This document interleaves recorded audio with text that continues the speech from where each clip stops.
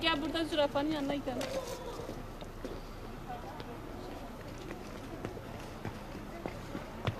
E, Gaziantep Hayvanat Bahçemizde ayılar, leoparlar, jaguarlar, e, sırtlanlar, aslanlar, kaplanlar, e, bunun yanında e, diğer yırtıcı hayvanlarımız da bulunmakta. Bunların mutlaka e, kış mevsimi geldiğinden dolayı ısınması gereken olan hayvanlar da bulunmakta. Özellikle aslanlar, e, jaguar ve leopar e, bunlar ısınma gerektiren hayvanlar. Bunları alttan ısıtmalı barınaklarımız bulunmakta. Her bir hayvanımızın yaklaşık olarak kışlık barınağı 25 ile 30 metrekare arasında. Bunları kışlık barınağına akşam alıyoruz ve kendilerini ısıtıyoruz. Kış mevsiminden dolayı da kendilerinin yem miktarını artırmış bulunuyoruz. Şu anda yazın kendilere 3,5-4 kilogram kadar et veriyoruz.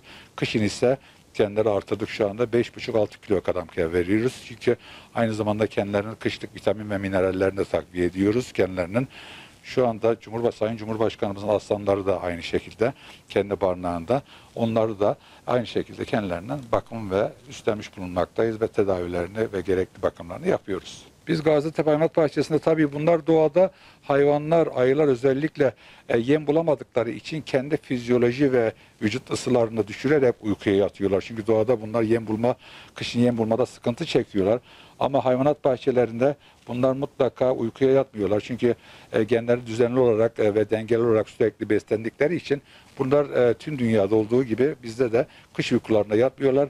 Her bir ayımıza belli e, beslemelerini yapıyoruz. Gerekli protein ihtiyaçlarını, gerekli karbonhidratlarımızı ihtiyaçlarını vererek kendilerine beslemelerini sağlıyoruz. O yüzden dünyada da ve Gaziantep Hayvanat Bahçesi'nde de ayıları kış uykularına yatırmıyoruz kendilerini. Yani beslenmesi iyi olduğu zaman kış uykusu gereksinimi hissetmiyor. Aynen öyle. Çünkü hayvan e, eğer gıdayı bulamazsa kendi fizyolojik ihtiyaçlarını düşürmek kaydıyla kış uykusuna yapıyor.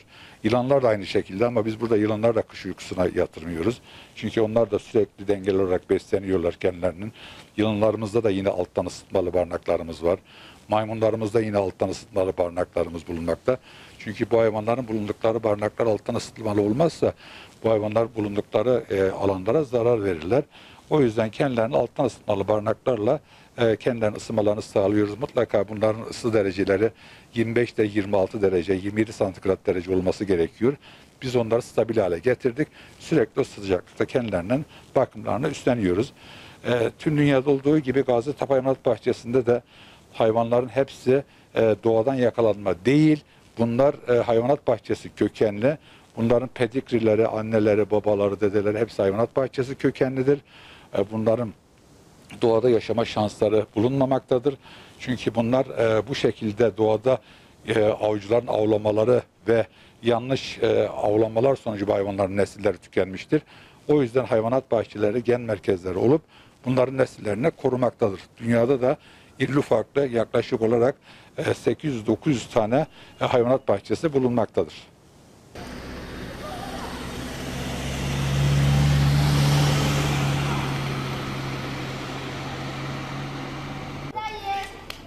Obrede, já come.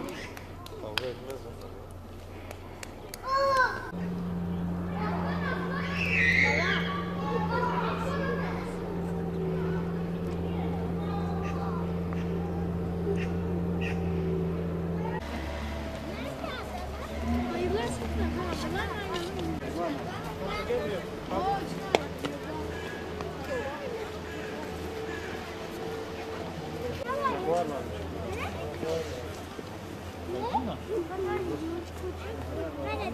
Tabletini aldın.